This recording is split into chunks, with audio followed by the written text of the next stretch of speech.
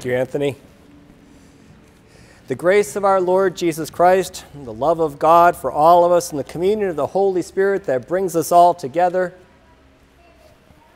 Not on? Oh, hold on. We can start over. I got two different mics in my pocket, and I've got an ice pack on that starts melting. All these wires, I could go up in a bright flame. How about that? There, okay. Let's start over then.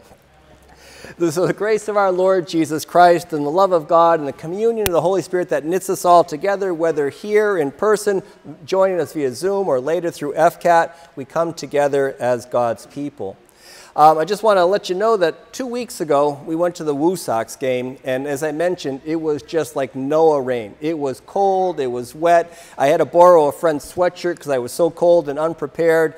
Last Sunday we went off to a family wedding up in the White Mountains, and on Friday night it was clear, but it was actually absolutely cold. And again, unprepared Randy, I had to ask another relative so if I could borrow a sweatshirt. It was that cold.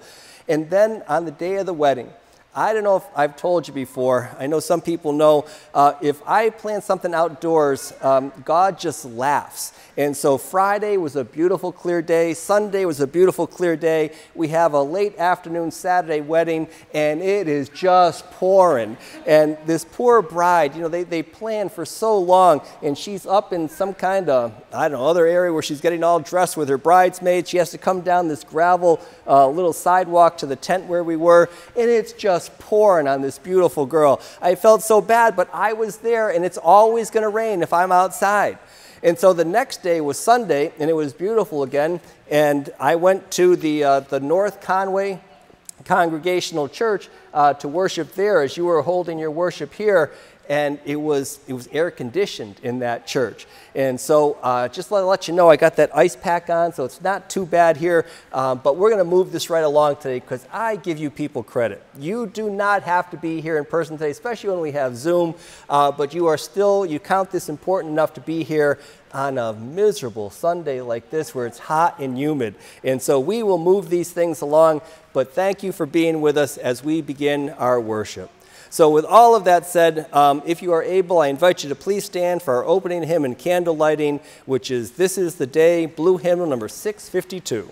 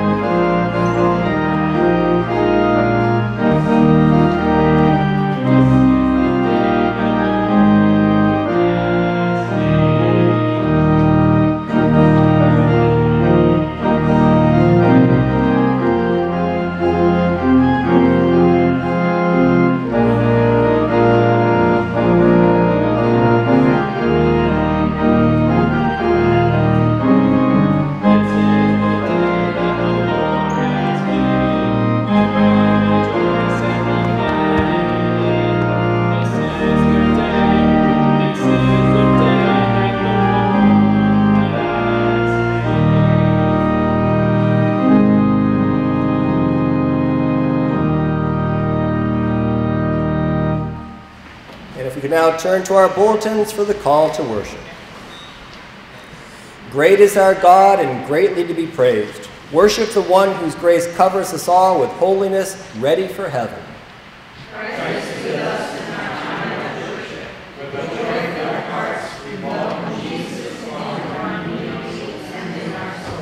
Let us ponder God's steadfast love for all creation.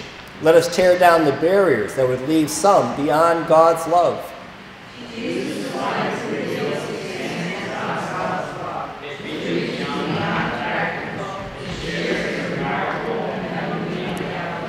Gather to celebrate the abundance of God's love and to become better equipped to share it with others, whoever they are.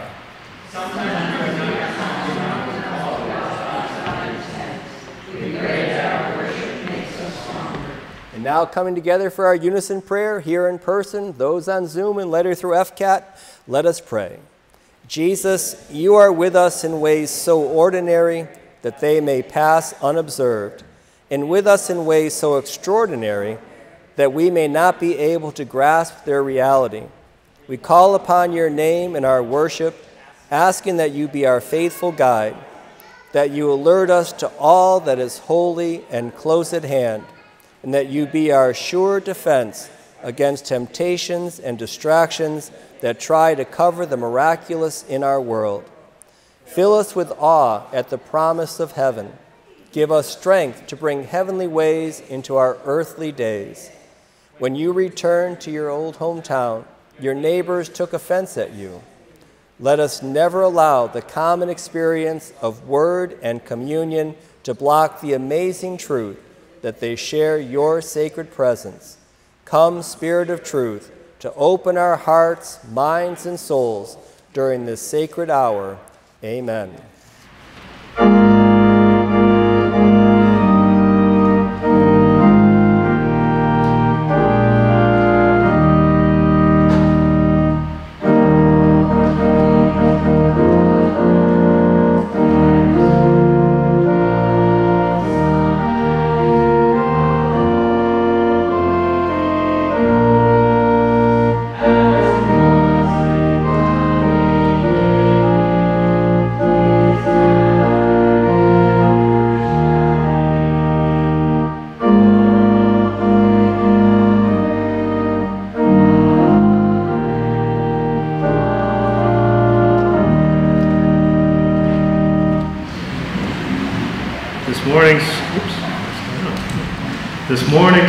Reading is from 2 Corinthians chapter 12, verses 2 through 10. It's a rather awkward reading, so I'll do my best here. I know a person in Christ who 14 years ago was caught up to the third heaven. Whether in the body or out of the body, I do not know. God knows. And I know that such a person, whether in the body or out of the body, I do not know. God knows was caught up into paradise and heard things that are not to be told, that no mortal is permitted to repeat. On behalf of such a one I will boast, but on my own behalf I will not boast, except of my weaknesses. But if I wish to boast, I will not be a fool, for I will be speaking the truth. But I refrain from it, so that no one may think better of me than what is seen in me or heard from me even considering the exceptional character of the revelations. Therefore, to keep me from being too elated, a thorn was given to me in the flesh, a messenger of Satan to torment me, keep me from being too elated. Three times I appealed to the Lord about this, that it would leave me. But he said to me, My grace is sufficient for you, for power is made perfect in weaknesses. So I will boast all the more gladly of my weaknesses, so that the power of Christ may dwell in me. Therefore I am content with weaknesses, insults, hardships, persecutions, and calamities for the sake of Christ. For whenever I am weak, then I am strong.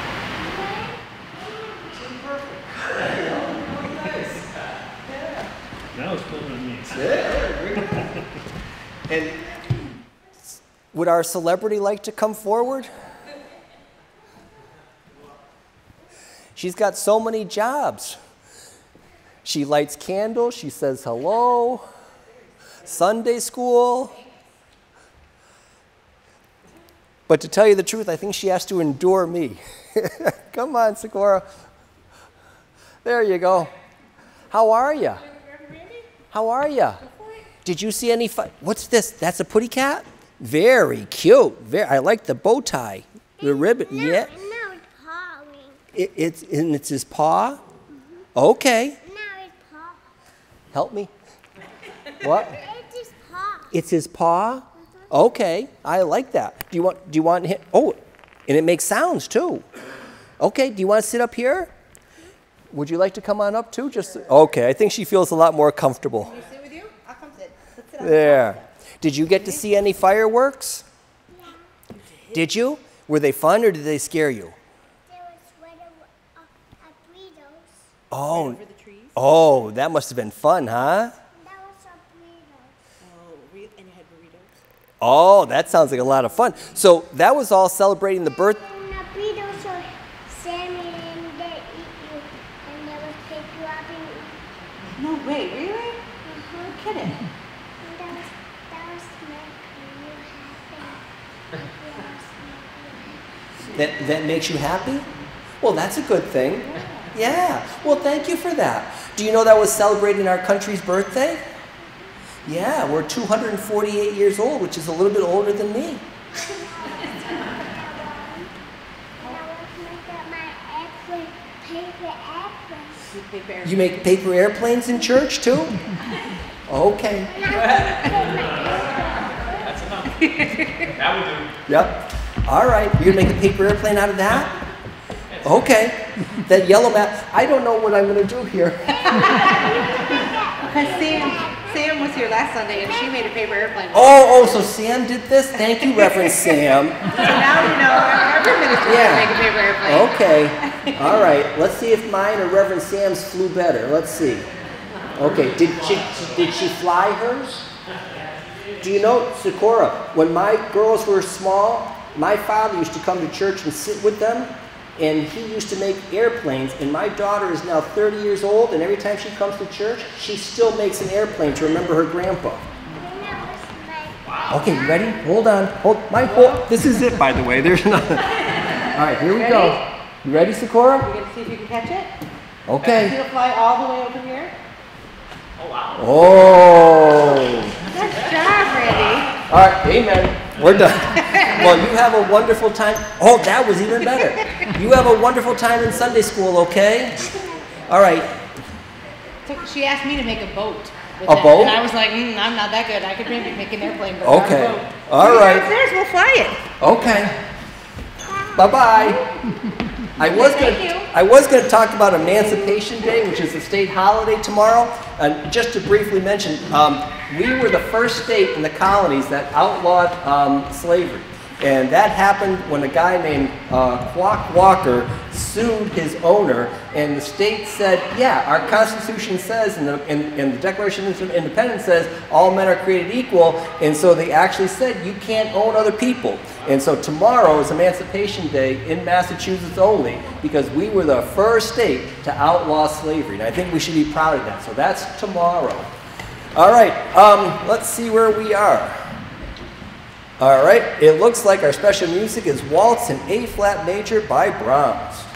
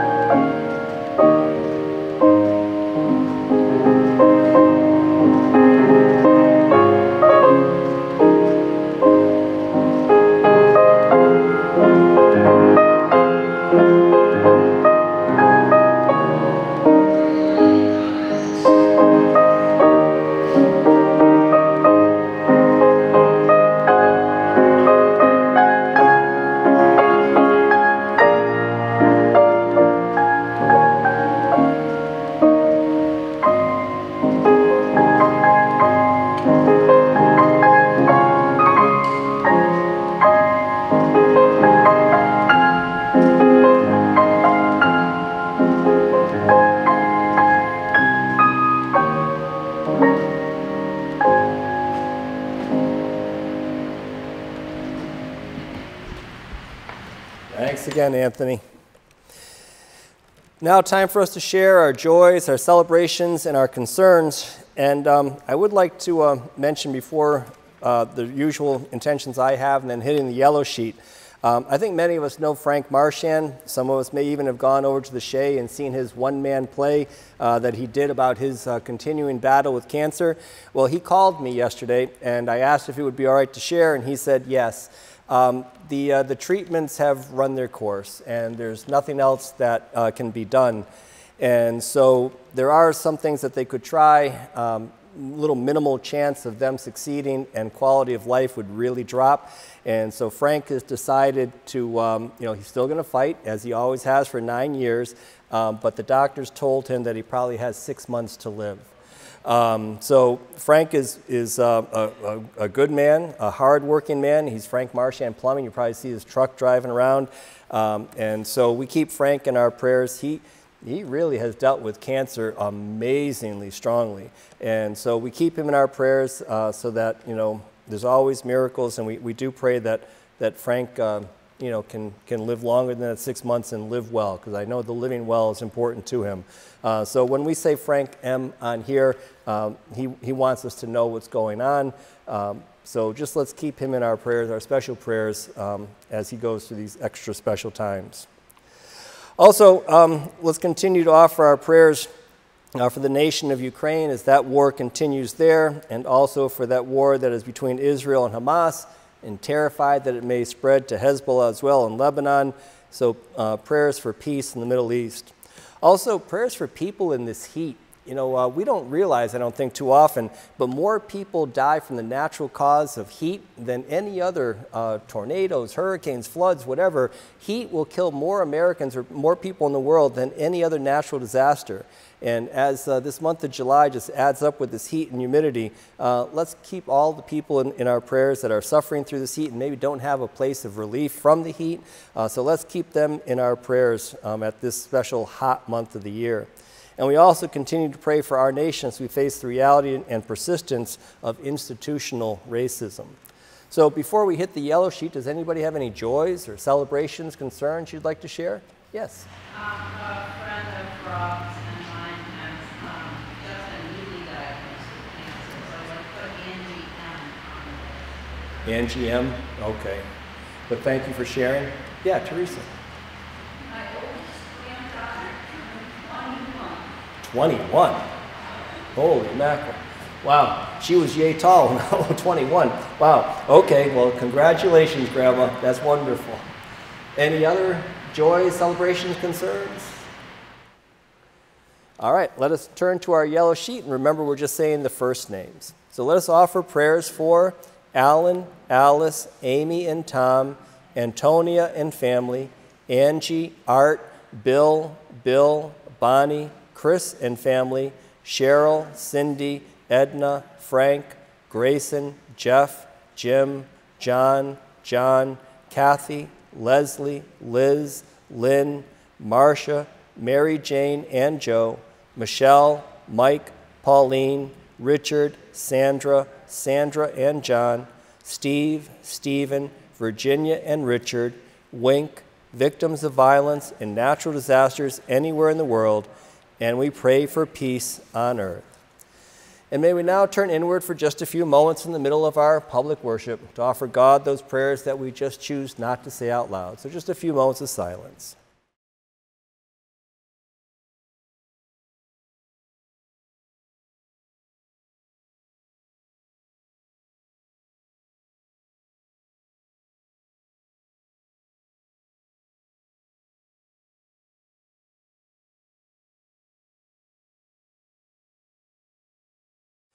Mighty God and perfect teacher, help us to grow closer to you by living more closely to the example set for us by Jesus of Nazareth. May your word constantly astound us. May the gift of communion strengthen us always. Help us to see with eyes of faith so that the world seems less threatening than it is. Emancipate us from the bonds of sin and prejudice. Share Christ's lived example with us so that we may see in each other the spark of the divine. And let us know that our prayers, they are heard, that they do matter, and that they will be answered as you alone know best. And these things we ask in Jesus' name. Amen. And may we now join together in sharing in the words that Jesus gave to all of us, the Lord's Prayer. Our Father, who art in heaven, hallowed be thy name. Thy kingdom come, thy will be done, on earth as it is in heaven. Give us this day our daily bread, and forgive us our debts as we forgive our debtors. And lead us not into temptation, but deliver us from evil. For thine is the kingdom, and the power, and the glory forever.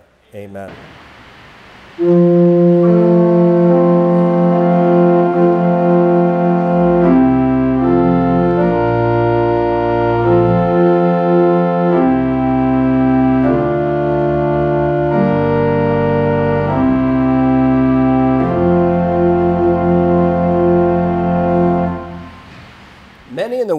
Expect to receive, and they actually resent it when they are asked to give. Jesus turned these priorities completely around, giving thanks for the opportunities to share what he had with all others. And we are benefactors of Christ's generosity. We are blessed constantly by God in our lives. So, in gratitude, let us bring our offerings to the church and also through the church to Christ. Therefore, may our contributions be as generous as our faith expects and as our conditions allow, and they will be accepted now in person, or if you join us via Zoom or FCAT, they can always be mailed here to the church. However, you choose to give, if you are able, it is appreciated.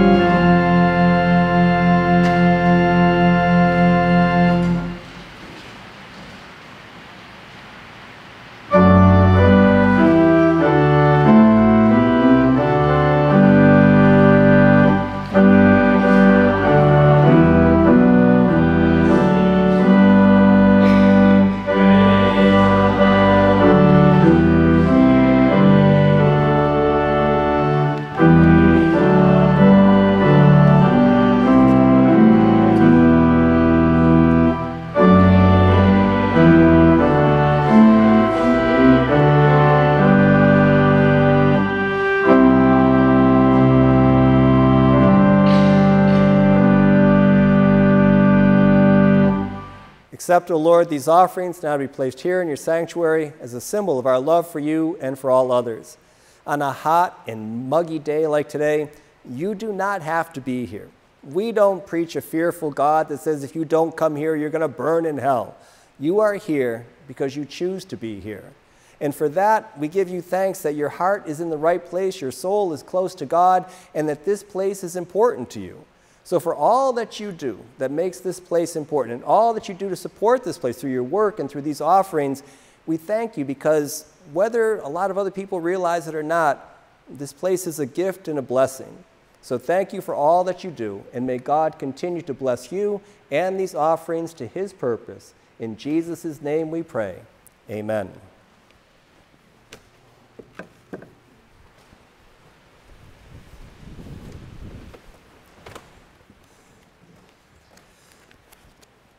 And today's gospel is taken from Mark chapter 6, verses 1 through 13. And Jesus left that place and came to his hometown, and his disciples followed him. On the Sabbath, Jesus began to teach in the synagogue, and many who heard him were astounded. And they said, Where did this man get all of this? What is this wisdom that has been given to him? What deeds of power are being done by his hands? Is not this the carpenter, though, the son of Mary, and the brother of James, and Joseph, and Judas, and Simon? And are not his sisters here with us too? And they took offense at Jesus. And then Jesus said to them, Prophets are not without honor except in their hometown and among their own kin and in their own house. And he could do no deed of power there except that he laid his hands on a few sick people and cured them. And he was, and he was amazed at their unbelief. And then Jesus went about among the villages teaching. And he called the twelve and began to send them out two by two and gave them authority over the unclean spirits. And he ordered them to take nothing on their journey except a staff no bread, no bag, no money in their belts, and they were to only wear sandals and not put on two tunics. And he said to them, Wherever you enter a house, stay there until you leave that place. If any place will not welcome you and they refuse to hear you, as you leave, shake off the dust that is on your feet as a testimony against them. And so they went out and proclaimed that all should repent. And they cast out many demons and anointed with oil many who were sick and cured them. May the words of my mouth and the meditation of our hearts together be acceptable to you, O Lord, our rock and our Redeemer. So, back on June 17th, the Celtics won a lead record 18th NBA title. Yeah, ooh, and, and that is kind of cool because we have the most of any team. And what makes it even more special is the LA Lakers only have 17, so we're better than the LA Lakers. Now the problem was is that this team, the last time they won was in 2008, so that's 16 years ago.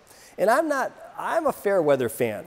And so, like, if they do well, I get on the bandwagon, I get all excited. If they don't do so well, I don't. Like we were talking about, I was all excited Friday when the Red Sox won in the 10th inning. They came back in the 9th, they won in the 10th. I was all Red Sox, Red Sox. And then yesterday, 14 to 4, I'm off the bandwagon again. So I'm a fair weather fan. But these guys, who, who there are people who know a lot more about basketball than I do. And they kept saying, after this, this span of 16 years since their last championship, they're saying maybe this team, maybe they're just not good enough to take it all. Maybe these players just don't come together as a team and play well enough together as a team to win it all. But they did. And the amazing thing is, is that after they won, you still had the naysayers and stuff like that, but they had their, you know, they had their duck boat parade and all of that. They had the championship. And, and then what the Boston Globe does is after that, they run a special section in the paper, in the Sunday paper, and, and they celebrate the team. And so the centerfold of that whole brand new section on the Celtics um, had this guy, uh, Jayson Tatum. Okay, he takes up a whole page of the centerfold of this special section in the Boston Globe. And this is what um, is on the other side of the centerfold. So I, will read it here, and then you can keep looking at Jayson Tatum, because this is what is on the other side of the Boston Globe centerfold for their celebratory uh, winning of the NBA title. They said plenty that you, this guy here, Jayson Tatum, that you don't have what it takes, that you're not it, that you can't lead, that you can't close a game that you don't show up. They wrote you off far too early. They said, You can't win it all. And now that you have, maybe they'll stop talking. But then again, maybe it's best that they don't. And then in deep, dark red letters with a black background, it's got Don't Stop Disbelieving. You know, in church, we always talk about don't stop believing. You know, believing is, is what's at our core. So that message of don't stop disbelieving, that should kind of ring in a special way for us. It should sound unfamiliar and strange. And when it does, hopefully it sinks in. Don't stop disbelieving. So keep that in mind when you go back to that gospel story about Jesus going back to his hometown of Nazareth. So Jesus is just at the early stages of his ministry. And, you know, rumors are starting to get back to Jesus, or back to the, Jesus' hometown. And up in that hometown, when he was there last, he was just the carpenter. He was an ordinary neighbor. You know, he was just the guy down the street. If, you know, had a broken window, broken door, call Jesus. That was Jesus. There were no parables, there were no miracles, there were no disciples. Jesus was just Jesus of Nazareth, the carpenter. And then, since it's a small village, everybody knows that something goes strange with Jesus. And he takes off. Nobody leaves these little villages, and Jesus leaves. He goes all the way through Samaria. He goes down into Judea, and then he goes out into the wilderness. And they all know he's going out there to see this John the Baptist guy who has got a reputation as being strange. This guy's a little bit different. And Jesus went to him. And so, if you're in a small town, we're in a small town, you know how rumors spread. So, they're all talking about Jesus and Jesus and Jesus. And now he comes home. And as Jesus comes home for this first time since leaving as the carpenter, he comes home and he goes to the synagogue. Now, you know, in these small little villages, it's probably that they cannot afford, all these small little villages cannot afford to have their own professional rabbi. And so people would stand up from the community and they would offer words to say. And you know, in the, in the ancient Middle East, uh, holy places would be built on top of holy places so that, um, say, even you were conquered and maybe a, a foreign religion came in, there was still something about place that was sacred. And so they would build their temple, their worship site, on top of a previous worship site. And so archaeologists can dig down and they actually know where the Nazareth synagogue was from this first century AD, where Jesus would have been. And so they know that there were stone benches around the perimeter of this like rectangular room.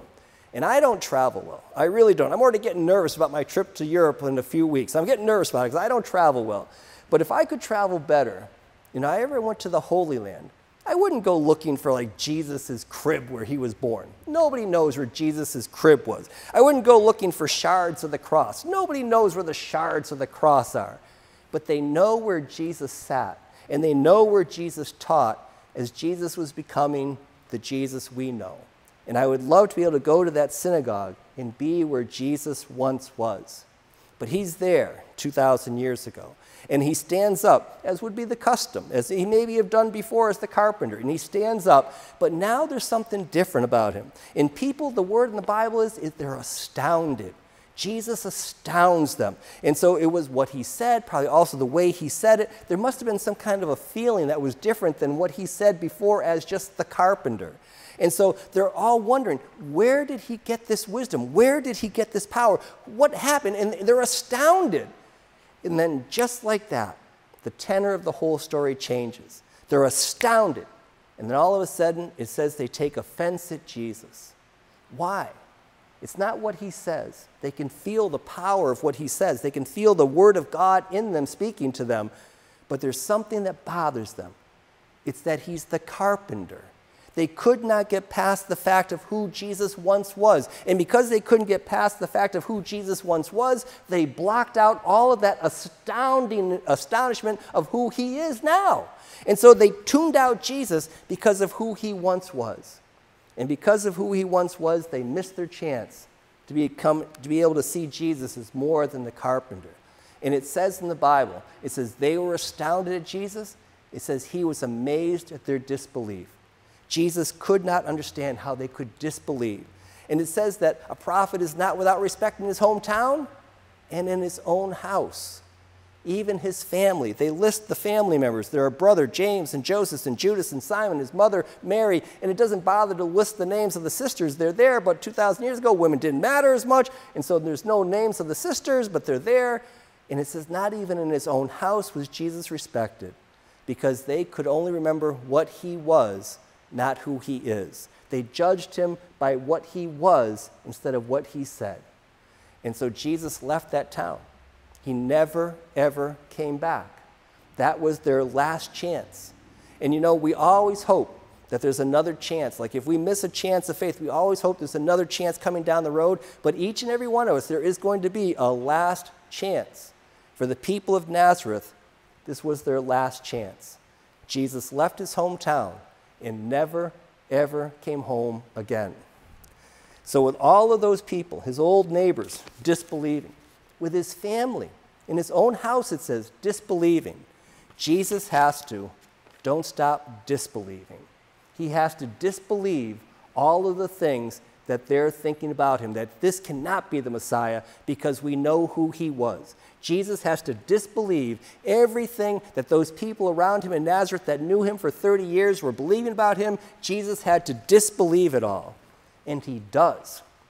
Because the next passage says that as Jesus leaves there, not only does he continue to preach, but he takes his 12 disciples, he, he puts them into uh, six different pairs of two, and he sends them out. And now, not only is his work, you know, spreading the gospel, now it's times six. All these pairs of disciples are going out in every direction, and they're going out, and these fishermen, these, these tax collectors, these ordinary people, they are beginning to preach like Jesus preached, and it even says they're doing miracles like Jesus was doing miracles. And so, how in the world did a fisherman or a tax collector or somebody else ever have the confidence to go out and do these things? Because everybody would have said, You can't. And so they had to have this don't stop disbelieving. They had to have the courage to think beyond what other people thought about them, to think beyond who people thought they once were. They had to have the confidence and the faith to believe in themselves. And guess what? We're now the disciples. We're the ones who have to disbelieve what's going on in the world.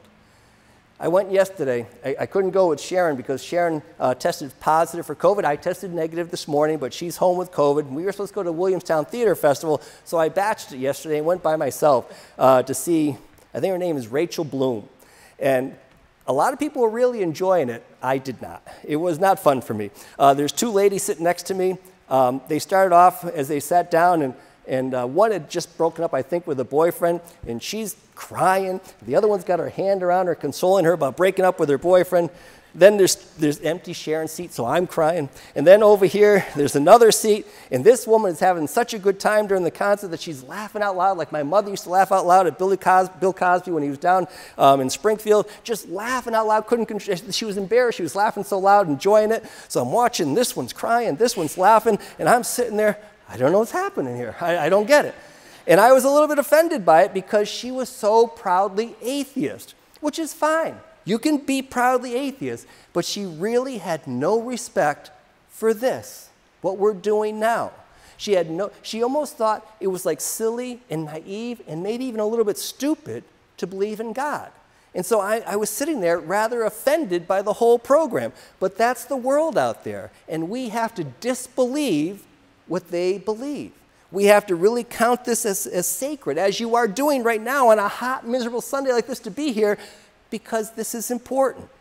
And so we have to do that on faith.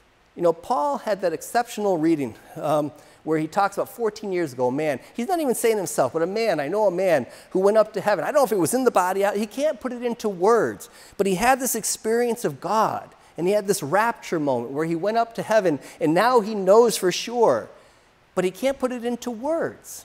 And you know, for the rest of us who don't have that experience, we have to do it on faith. I went away to that, that family wedding. A cousin of mine, we're sitting on the bus going to the, to the family wedding from the hotel. You take a bus so that you can come home without worrying about how to get home. So we're on the bus going to the wedding, and he tells me about his near death experience. This guy is not at all worried about death because he died and came back. And he knows that when you die, there's something more. So he doesn't have to rely just on faith. He knows what Paul is talking about. He knows that when this physical body goes to rest, there's something else waiting for us. But if we don't have that experience, it's based on faith. And it means don't stop disbelieving when everyone else says, You really go to church on Sunday? You really believe that stuff in the Bible? You go to Bible class on Tuesday at 7 p.m., send Randy the login, or send Randy an email, I'll send you the login. If you really believe that stuff, we have to stop disbelieving. And we have to believe that there's a mystery taking place here in the simplicity and splendor of this table that brings us into communion with God. We have to stop disbelieving. And so it worked for the Celtics, it worked for Jayson Tatum, and I hope it works for us as well. In Jesus' name we pray. Amen.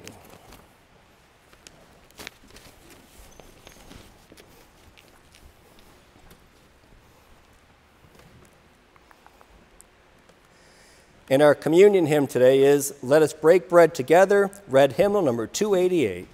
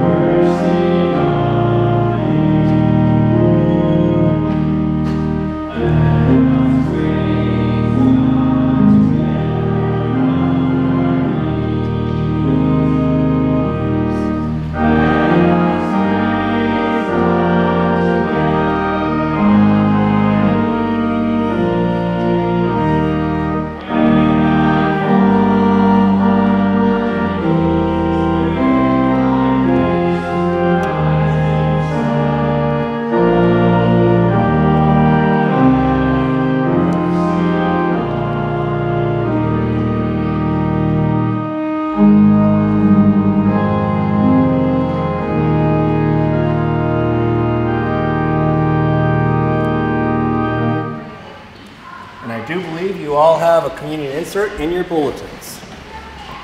This table is for all people who wish to know the presence of Christ and to share in the community of God's people. The Gospel tells us that on the first day of the week, Jesus was raised from death, appeared to Mary Magdalene, on that same day sat at the table with two disciples, and was made known to them in the breaking of bread. This is a joyful feast of the people of God. Women and men, youth and children, wherever you are, gather around For this table is for all people who wish to know the presence of Christ and to share in the community of God's people. God be with you. Lift up your hearts. Let us give thanks to God the Most High. We give you thanks, God of majesty and mercy, for the beauty and the bounty of the earth and for the vision of the day when sharing by all will mean scarcity for none. We rejoice that you call the entire human family to this table of sacrifice and love. We come in remembrance and celebration of the gift of Jesus Christ, whom you sent to be the good news. Born of Mary, our sister in faith, Christ lived among us to reveal the light and life of your grace, to suffer on the cross for us, to be raised from death, and then to live in glory. We bless you, gracious God, for the presence of your Holy Spirit in the church among us, and with your daughters and sons of faith in all times, all places, we praise you with joy by saying, Holy, holy, holy God of love and majesty. The whole universe speaks of your glory, O God most high. Blessed is the one who comes in the name of our God. Hosanna in the highest. We remember that on the night of his betrayal and desertion, that Jesus took bread, gave you thanks, broke the bread, and gave it to his disciples, saying, This is my body that is broken for you. Do this in remembrance of me.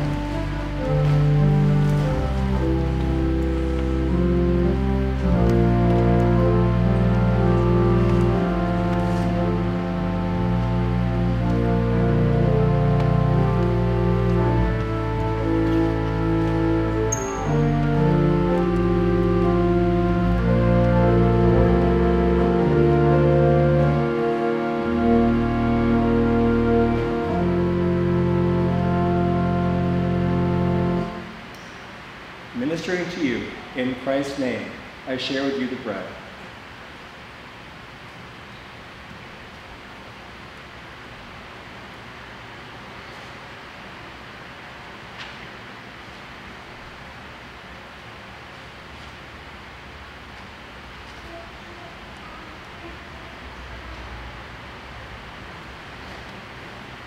In the same way, Jesus also took the cup after supper, saying, This cup is the new covenant in my blood.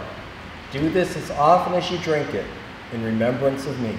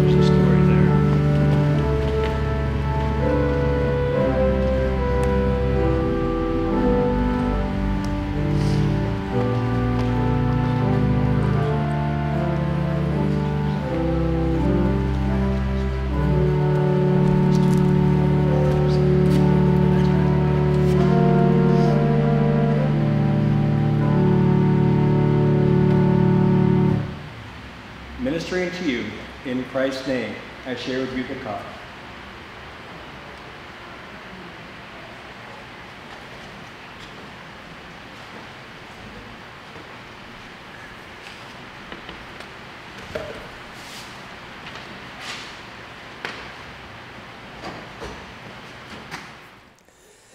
And may we now share in the prayer of thanksgiving.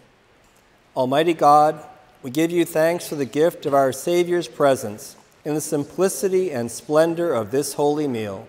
Unite us with all who are fed by Christ's body and blood, that we may faithfully proclaim the good news of your love, and that your universal church may be a rainbow of hope in an uncertain world.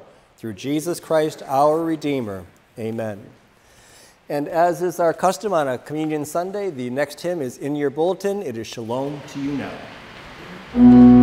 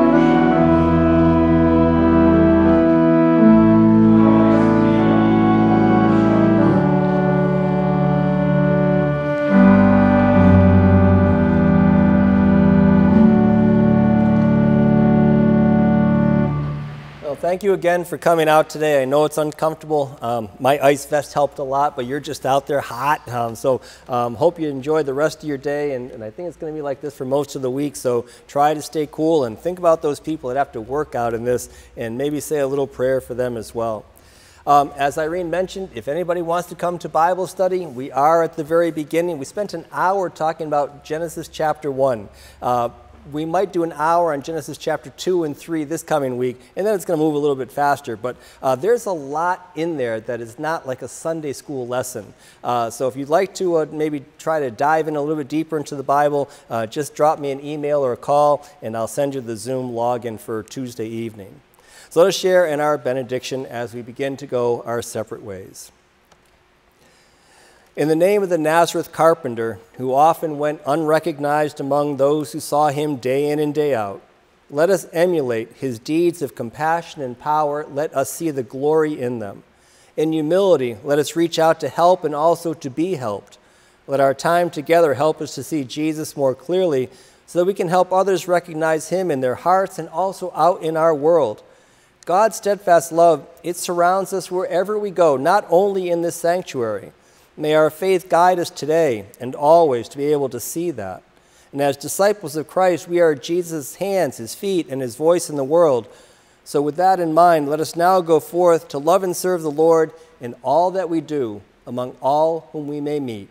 Amen.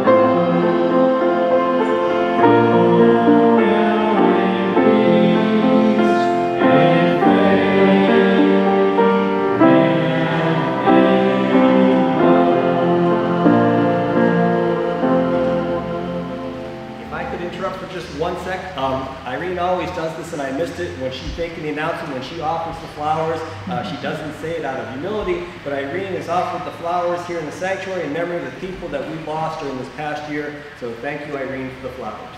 Thank you, Anthony.